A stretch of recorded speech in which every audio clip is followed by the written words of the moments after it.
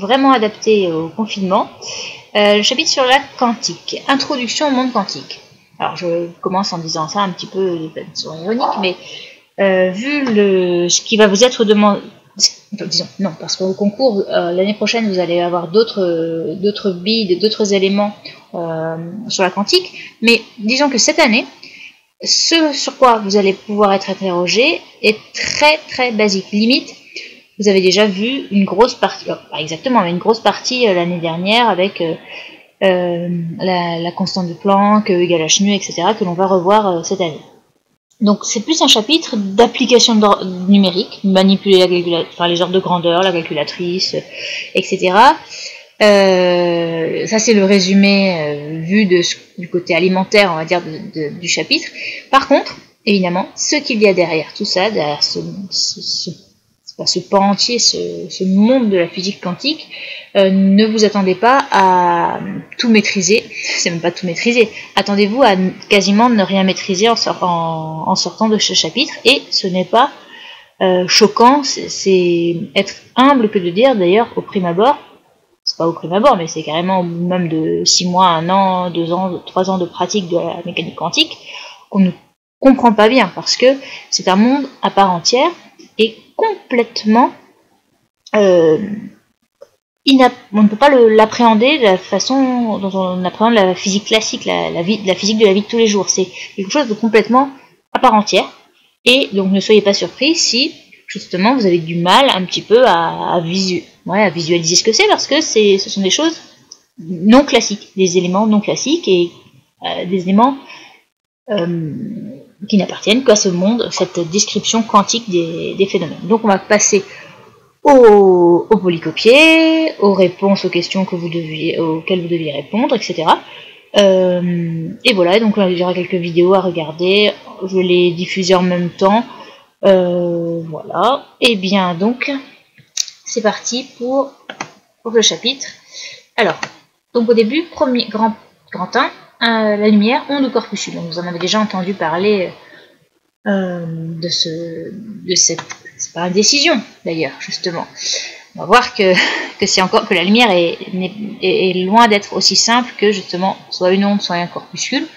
Alors, par contre, au niveau des, de la représentation que les chercheurs, que les scientifiques en ont eu aux différentes époques, eh bien, se sont certains phénomènes allaient, ou même vont, on peut dire plutôt vont, dans le sens d'une description ondulatoire, tantôt, ou une description corpusculaire dans d'autres euh, types d'expériences. Et donc, euh, certains scientifiques se sont ont, envisagé des modèles euh, qui allaient dans le sens d'un modèle ondulatoire ou bien corpusculaire. Donc ça, c'est à maîtriser également le, les, scientifiques qui ont, qui ont laissé leur nom à la description ondulatoire ou bien à la description corpusculaire. Euh, si on fait une petite frise chronologique pour représenter ça, pas forcément tous, mais que vous ne disiez pas, euh, je dis n'importe quoi, que euh, Jung a défendu le, le, modèle corpusculaire, par exemple. Donc ça, ça ne sera pas acceptable. Alors si on fait une petite frise chronologique, eh bien, euh, qui d'un côté montre, euh, positionne les défenseurs de la, du modèle ondulatoire et de l'autre le modèle corpusculaire.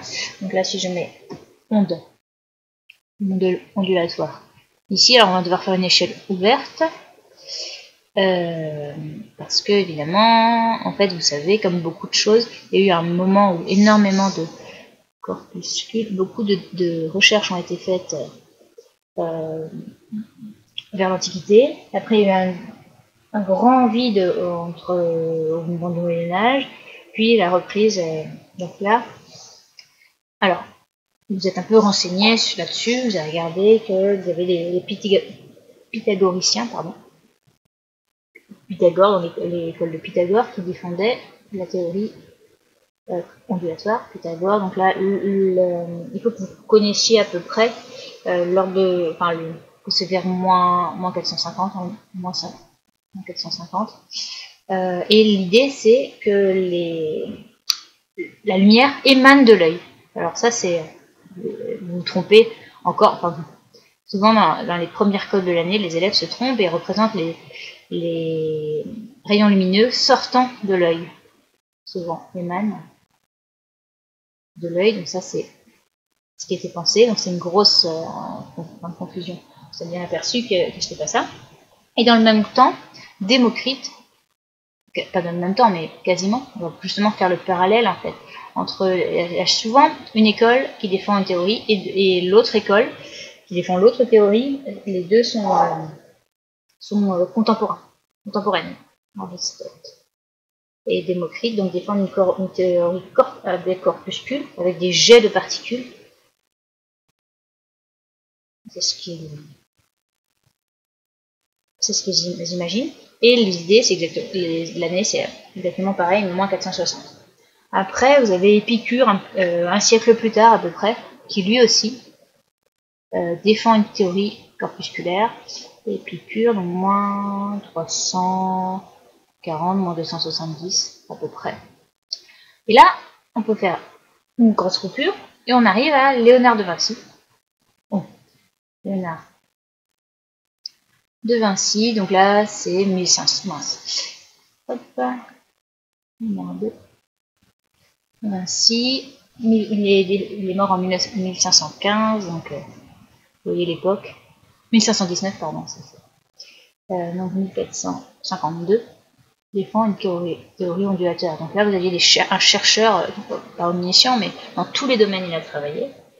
Euh, et après, ça s'enchaîne, en fait, à partir de quasiment, enfin, il faut encore attendre encore un siècle après, après Léonard de Vinci, et Christian Huygens, le néerlandais, qui travaille également beaucoup sur la mesure du, temps et des oscillations. Donc lui, c'est 1629. 1629 1695. Et quasiment bah, contemporain, vous avez Newton. Et là, Newton défend une théorie corpusculaire, donc qui donne, essaie de donner une taille des corpuscules qui associée à la propagation lumineuse. 1727. Et ensuite, alors là, a peut-être plus de place forcément, mais énormément, énormément, dans tout le 18e, 19e siècle, vous avez Jung, fonde Jung, Thomas donc ça, c'est à retenir, ces, noms-là. Donc euh, les dates, pas forcément, hein, mais c'est euh, là, c'est la diffraction. Euh, fin, fin 18e, début 19e. Voilà, je vous donne pas les dates exactes. Fresnel, les fentes de Fresnel, les miroirs de Fresnel. À retenir également, donc c'est en français. Augustin Fresnel. Pareil, les mêmes époques, euh, idem. Euh, et après, on arrive à une théorie. Donc ça, c'est de l'expérience. J'aurais dû faire une autre échelle. On arrive à la théorie qui est, alors, euh, qui vient donc de, Maxwell. Et vous allez voir l'année prochaine, au mois de fin septembre, Maxwell, fin septembre, début octobre, toutes les équations de l'électromagnétisme qui proviennent donc des équations de Maxwell. Et c'est lui qui enfin, ce sont ces équations-là qui permettent de comprendre la propagation des champs E électriques et B magnétiques pour comprendre. Euh, donc c'est il est né 1830 et euh, ça 1879. Donc là lui c'est la théorie des champs. Théorie des champs E et B. Donc là, évidemment, c'est une propagation d'ondes, des champs électriques. Euh, euh, et quasiment contemporain, donc là je vais mettre, je referai une autre échelle, une autre prise juste en dessous. Vous avez euh, Hertz. Alors, le rayonnement, pas le rayonnement, l'effet le, photoélectrique, dont on va parler d'ici quelques minutes, l'effet photoélectrique. Donc lui, c'est euh, découvert par Becquerel, hein, mais de façon euh, comment par le hasard. Donc 1857, 1894 pour Hertz, donc en 19e. C'est exactement la même époque que Maxwell. Et je vais ajouter une page pour terminer cette frise.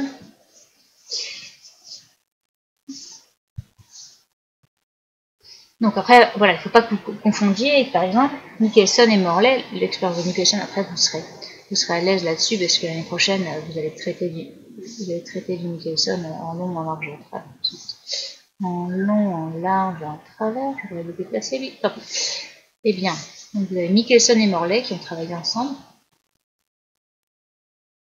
qui essayaient de mettre en évidence euh, un, éther, un milieu de propagation pour la, pour la lumière. Et en fait, donc leur expérience euh, très connue, l'expérience de l'éther, ils se sont enfin, ils ont montré qu'il n'y avait pas d'éther en fait. Grâce à leur expérience avec un qui, est, qui est devenu le, le Michelson justement avec un dispositif. Et ensuite, eh bien, vous avez toute la théorie corpusculaire menée par, donc ça c'est début 20e, Einstein, Planck,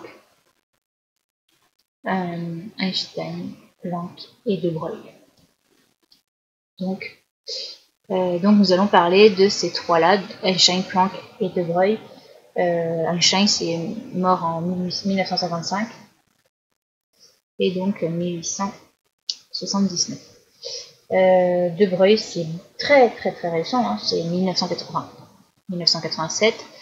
Euh, notre échelle, c'est quand même, c'est quand même très très très très proche, sa, sa mort. Et donc tout ça, c'est de la, de la, physique actuelle, enfin actuelle. Euh, oui, au niveau euh, des, connaissances, c'est très très actuel. Donc à, retenir ces noms, si on vous dit Michelson, il faut que vous pensiez onde, Einstein, Planck, De Broglie, que vous pensiez euh, corpuscule pour la lumière. Question 2.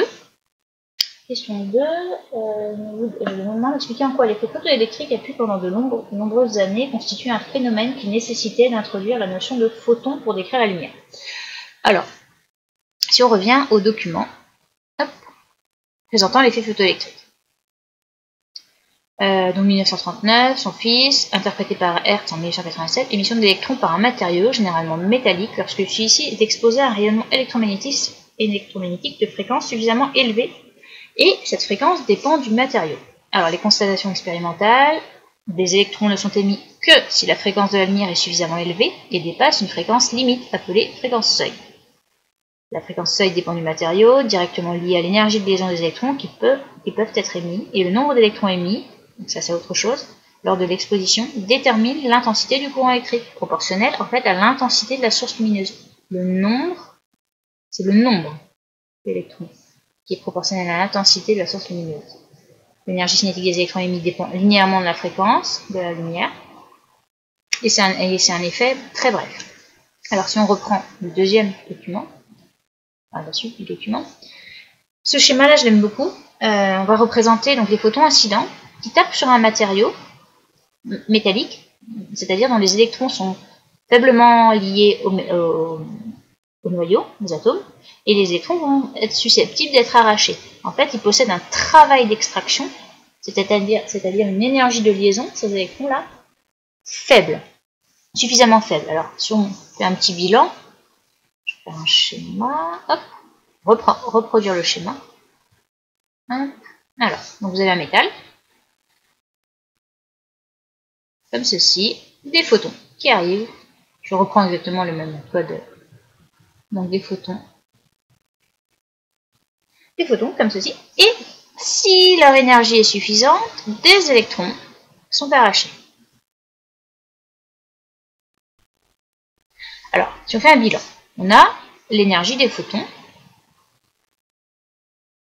qui va être égale en fait à. Il va d'abord pour falloir, pour que des électrons soient arrachés au métal, vaincre l'énergie de liaison des électrons. Donc ça va être l'énergie de liaison des électrons. Alors, ça s'appelle le travail d'extraction des électrons au métal. Je vais l'appeler travail d'extraction égal. Ça s'écrit W souvent. Travail. D'extraction. Noté WI par exemple, W tout simplement, pour travail.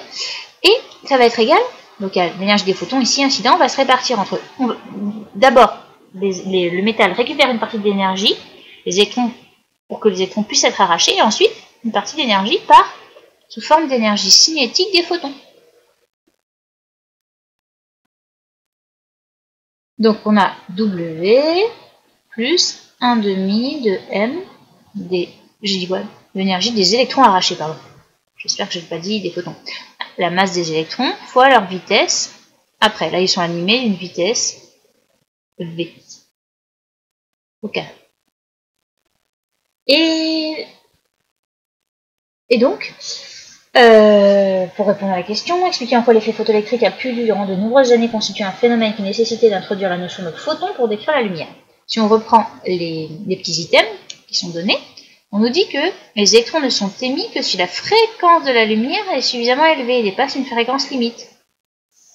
Alors qu'on pourrait se dire autrement, bah, vu le, vu le schéma, bah, en fait, on pourrait euh, arracher des électrons et si, on, met peu d'énergie, on arrache peu d'électrons. En fait, ça n'a rien à voir avec le nombre. C'est soit l'énergie est suffisante pour arracher, pour vaincre ce travail d'extraction-là, soit l'énergie n'est pas suffisante, et dans ce cas-là, il y a zéro électrons qui sont arrachés. Donc, petit commentaire.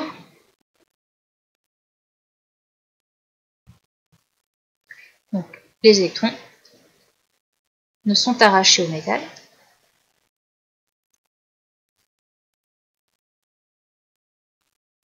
que si euh, euh, les photons incidents possèdent une énergie suffisante. Incident possède une énergie suffisante. Autrement dit, une fréquence seuil. Une énergie propre. Euh, une fréquence déterminé qui dépend du métal que vous avez. Si vous avez du lithium ou du potassium, le travail d'extraction ne sera pas le même et donc l'énergie nécessaire pour arracher les électrons ne sera pas la même pour le lithium que pour le potassium. Donc, ce qu'il faut bien retenir, c'est pour certains, vous avez peut-être déjà compris, mais je préfère le, réécrire, peu importe euh, l'envoi de plusieurs faisceaux, en fait, l'envoi d'un faisceau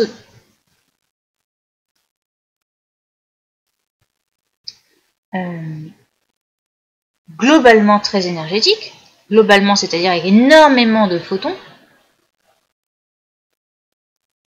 vous pouvez avoir énormément d'énergie dans l'ensemble du faisceau si vous avez un faisceau très large, très énergétique. Il faut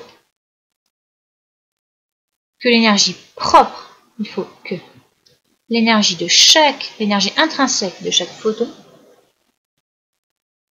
euh, soit, dépasse une certaine valeur, que l'énergie intrinsèque, intrinsèque, peu importe, il faut que l'énergie intrinsèque de, de chaque, bah de chaque, de chaque photon dépasse une énergie seule. Et donc, il y a une, quantification de l'énergie. Quantification de l'énergie. Et euh, donc sinon, si la fréquence est trop basse, il ne se passera rien. Donc en fait, on a E, vous, connaissez, hein, E égale H nu pour l'énergie d'un photon avec nu qui est égal à c sur lambda. Et donc si la fréquence est suffisamment élevée, l'énergie des photons est suffisamment élevée pour arracher un électron au métal. Donc plus les longueurs d'onde sont basses et plus vous avez des photons énergétiques. Alors pourquoi cette expérience n'est-elle pas suffisante pour affirmer que la lumière peut être décrite de façon corpusculaire? Euh, En fait, ça, il faut lire le document qui est donné, euh, que j'ai donné, mais que je vous ai redonné par euh, l'intermédiaire de Discord. En fait, vous lisez dans le, document qu'en raison du couplage atome quantique champ quantique, enfin théorie quantique des champs, on peut expliquer autrement cet effet photoélectrique. Et donc, ça n'est pas suffisant, si on, fait un peu plus de quantique, on n'est pas convaincu par euh, l'effet photoélectrique pour expliquer, euh, pour justifier le caractère corpusculaire de la lumière. Donc l'effet photo électrique. Alors, si on vous demande dans votre dans un sujet de concours, euh, citer une expérience historique qui a permis de mettre en évidence le caractère corpusculaire de la lumière, évidemment, vous citez l'effet photoélectrique. Euh, mais, réellement, proprement, euh, l'effet photoélectrique peut être expliqué euh, grâce à un couplage.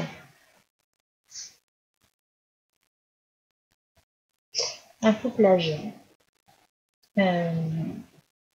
atome quantique champ. Atome quantique champ quantique euh, sans faire appel, sans faire appel, donc ça ne suffit pas sans faire appel à une euh, à une définition, à un modèle euh, corpusculaire. Sans faire appel à un modèle.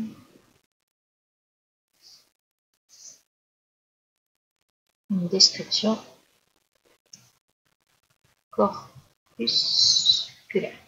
Donc ça ne suffit pas vraiment réellement pour être rigoureux de dire l'effet photoélectrique correspond à un modèle euh, corpusculaire. Et par contre, décrivez en quelques lignes expérience qui a réellement permis de montrer que la lumière comporte un aspect corpusculaire. Et eh bien là, c'est euh, dans le document euh, lumière onde ou corpuscule, c'est avec l'expérience avec la lame semi-réfléchissante.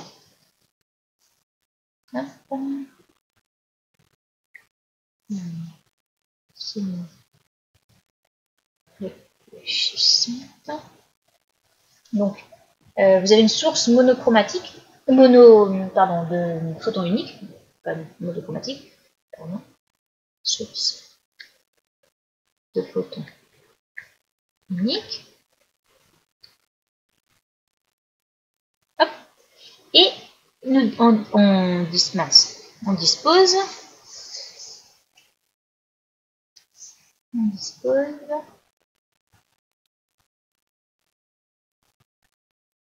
euh, une lame semi-réfléchissante, c'est-à-dire vous avez 50% euh, des photons qui vont passer à travers la lame et 50% des photons qui vont être euh, réfléchis sur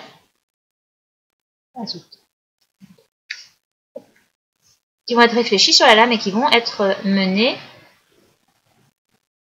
Hop, on est là. Je vais faire non plus, je vais le déplacer. Voilà. Hop. On va avoir un récepteur ici. Oh, oh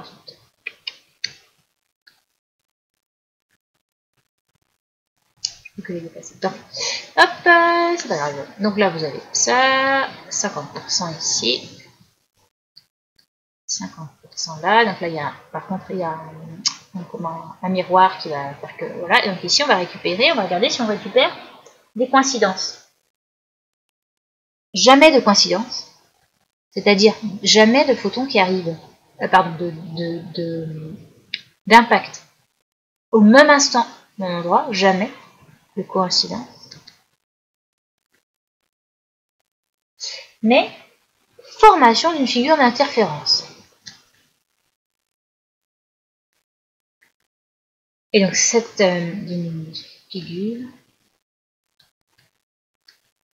d'interférence. Donc ça veut dire qu'en fait, vous avez un passage, soit la particule passe euh, par, par ce côté-là, par le haut, soit par, et n'est pas dévié donc ça, c'est cette, expérience. Et autrement, vous avez l'expérience des photos jumeaux, où là, alors là, c'est... Je vais terminer par celle-ci. Donc là, vous avez la formation d'une figure d'interférence avec des impacts, on va le voir tout à l'heure euh, sur les, figures d'interférence. Et plus, alors ça c'est expérience extrêmement, on va dire, euh, nouvelle. La date, c'est, vous dire, pas, pour vous, mais c'est ce sont des années 90 et 87. 87, donc c'est vraiment très récent. Expérience, donc 1987. D'ailleurs, vous allez voir, hein, c'est extrêmement récent. Création de, photons jumeaux, comment, liés, ils sont, donc liés. Et on va voir qu'en fait, quand on les fait passer à travers des lames semi-réfléchissantes, soit ils arrivent sur, le récepteur, sur un récepteur donné, tous les deux, soit tous les deux sur B, sur un autre récepteur. Donc ça veut dire qu'ils sont, ils liés et ils ne peuvent pas être séparés. On les a créés au départ ensemble, et c'est ça qui va nous amener à dire que, et donc ça vous allez retenir, que la lumière, c'est trop facile en fait de dire ah c'est une onde, ah c'est un corpuscule. En réalité, ça nous arrange bien dans certaines situations, lorsqu'il y a des interférences euh, ou de la diffraction, de dire ah bah là c'est une onde, voilà, etc. Mais dès qu'on ralentit un petit peu le phénomène et qu'on s'aperçoit qu'en fait, au niveau des interférences, on va le voir d'ici 5 minutes, que les figures d'interférence, en fait, on voit des impacts de photons sur le récepteur. Et donc, en fait, la description ondulatoire ou corpusculaire de la lumière nous arrange bien dans telle situation ou telle situation parce que c'est ce qui se rapproche d'une chose que l'on connaît.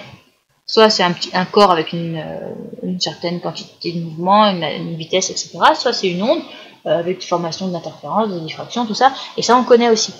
Et donc, ça nous arrange, entre guillemets, bien de se ramener à ce modèle-là. En réalité, la lumière n'est ni une onde, ni un corpuscule. Tantôt, on peut dire son comportement se rapproche de celui du comportement d'une particule. Tantôt, son comportement se rapproche du comportement ondulatoire. Mais c'est un, une entité, si on peut dire, à part entière. C'est quelque chose de euh, complexe qui n'existe pas. Enfin, on peut pas dire c'est une onde, c'est une particule. C'est un tantôt. J'insiste là-dessus. Hein, tantôt. Euh, on dit son comportement se rapproche de celui-ci ou de celui-ci, mais vous ne pouvez pas dire c'est une onde, c'est une particule. En, aucun moment, à aucun, en aucun lieu, vous ne pouvez dire ça. Donc attention, je l'écris comme ça, la lumière est un phénomène euh, très complexe. Je l'écris en toutes lettres. Tantôt, on euh, la modélise, son comportement se rapproche, la modélise par onde à certaines fréquences, tantôt par corpuscule, parce que ça nous arrange de, nous rapprocher à ce genre de description. Donc voilà pour, euh, cette euh, première série de questions. Et nous allons passer, eh bien, je vais faire une petite pause dans la vidéo,